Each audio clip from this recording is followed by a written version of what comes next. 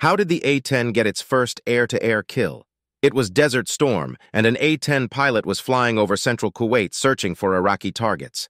After dropping six 500-pound bombs and destroying two Iraqi tanks with his Maverick missiles, he suddenly spotted what he thought could be two enemy targets several miles away. The targets were little more than two black dots moving across the desert, but he quickly realized they were two Iraqi helicopters, which a nearby observation plane soon confirmed. Knowing what he was dealing with, the A-10 pilot moved in. But as he did, one of the targets turned north toward Iraq, so he went after the second helicopter, which headed south. However, that helicopter was flying so low to the ground that he couldn't lock onto it with his Sidewinder missiles, which meant his only option was the A-10's GAU-8 Avenger cannon. That wouldn't be a problem. With three passes, he unleashed a barrage of 30-millimeter rounds that reduced the helicopter to an unrecognizable heap of bullet-ridden metal.